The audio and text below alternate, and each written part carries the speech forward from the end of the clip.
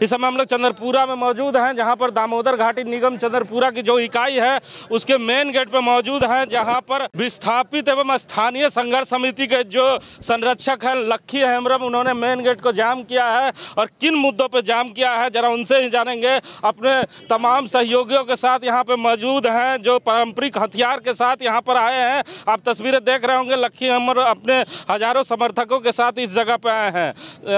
लक्खी जी, क्या कारण है? और किन मुद्दों को लेकर आपने मेन गेट को घेरा? है आज मेन गेट को अभी घेरे नहीं हैं।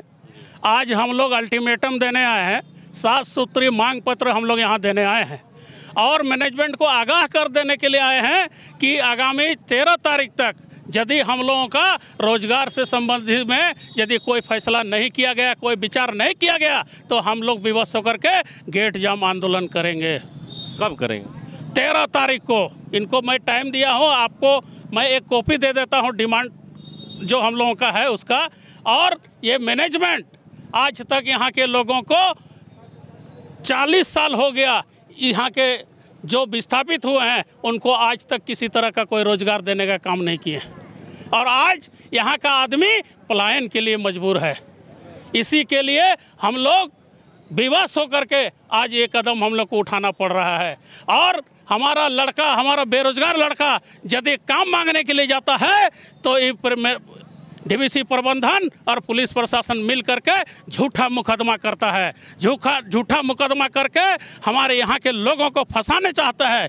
इस तरह इसलिए हम इन लोगों को आगाह कर देना चाहते हैं कि यदि हम लोगों के यहाँ के विस्थापित स्थानीय को रोज़गार नहीं मिलेगा तो हम लोग यहाँ आंदोलन करेंगे। उसके लिए हम लोग पर आप झूठा मुकदमा कीजिए, चाहे जो कीजिए, लेकिन हम लोग अपना हक अधिकार के लिए लड़ाई ज़रूर लड़ेंगे। अच्छा हेमरम साहब, एक चीज़ बताएँ हमें।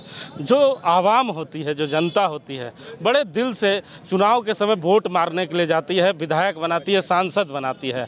जब हक और हुकूक की बात आती है, चालीस साल, पचास सालों से विस्थापितों का आंदोलन चल रहा है, समाधान नहीं हो पाता है। क्यों नहीं सांसद और जो विधायक होते हैं, जब आपकी लड़ाई होती है तो वो अपने बैनर के साथ आते हैं। क्यों लक्खी हेमरम को आज मजबूर होकर विस्थापित समन्वय समिति, संघर्ष समिति का बैनर लाना पड़ता है? क्यों राजनीतिक बैनर गायब हो जाता है विस्थापितों के लड़ाई में? क्यों राजनीतिक पार्टी के बड़े नेता गायब हो जाते हैं विस्थापितों के हक दिलाने के जब बात आती है तो? चुनाव के समय तो बड़ी बड़ी बातें करते हैं। जब हक की बात आती है तो बैनर गायब, झंडा गायब, व्यक्ति गायब, नेता गायब। तो क्या मानते हैं आप? जी, देखिए, ये चुनाव जो है और जो यहाँ बड़े बड़े नेता आप जिसको एमएलए एमपी आप कहते हैं, मंत्री कहते हैं, ये लोग सिर्फ़ अपना समय गुजारते हैं। और यहाँ के लोगों का जो स्थिति है बद से बदतर होते जा रहा है। सिर्फ़ पाँच साल में एक बार आना है और पूरा क्षेत्र के जनता को चाहे कोई लुभावना दे करके अपना काम कर लेना है, वोट लेकर के जीत जाना है, बाद बाकी दिन कोई किसी को देखने वाला नहीं है। अच्छा एक चर्चा आपने अपने भाषण के दौरान कहा कि जो यहाँ के विस्थापित है जब काम मांगने जाते हैं तो मैनेजमेंट उन्हें भगा देता है। बोकारो स्टील प्लांट में भी इसी तरह का आंदोलन विस्थापित परिवार के लोग करते थे। बोकारो स्टील प्लांट ने एक नियम लाया था कि विस्थापितों को ही टेंडर दिया जाएगा। तो क्या ऐसा कोई नियम इस जगह पर नहीं? इस जगह पे है, लेकिन इन्होंने आज तक वो भी हमारा डिमांड में है।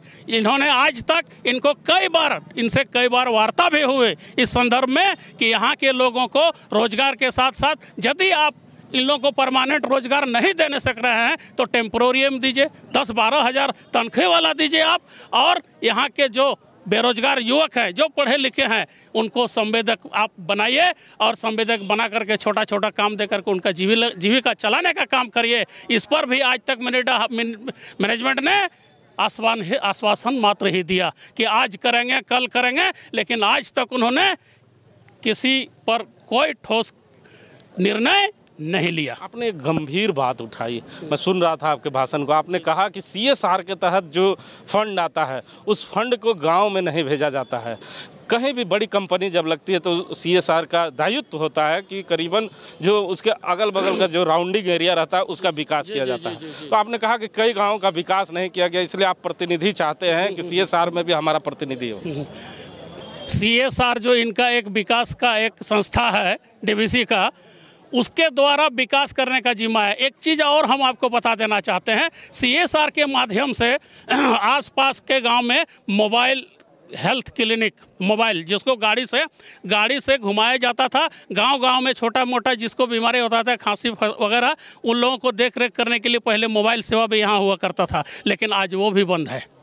और एक चीज़ आपको बता देना चाहते हैं कि सीएसआर के तहत आपने जिस गाँव को विस्थापित किया है डीवीसी मैनेजमेंट ने जिस गाँव को विस्थापित किया है, उस गाँव को ना देख करके ये दस किलोमीटर दूर जाता है, वहाँ कोई चीज़ का योजना का दे देता है, लेकिन आपने जिसको विस्थापित जिसने विस्थापित डीवीसी मैनेजमेंट ने किया है जिसको, उसको देखने वाला आज कोई नहीं है। आपको आज बता दे रहे हैं, एक गाँव है भुरसाबाद। उस गाँव में जो लेटरिन का पानी बहता है, उस गाँव तरफ़ बहा दिया है। उसको भी हमने कई बार बोला मैनेजमेंट को कि इसको मैंने इसको सुधार करिए, इसको बंद करिए, या नहीं तो इसको रास्ता काट के दूसरा तरफ़ ले जाइए। लेकिन आज भी इस पर उन्होंने कुछ नहीं किया। तो आज भी इन्होंने कुछ नहीं किया। चालीस साल से जो आंदोलन चल रहा है, वो चलते आ रहा है।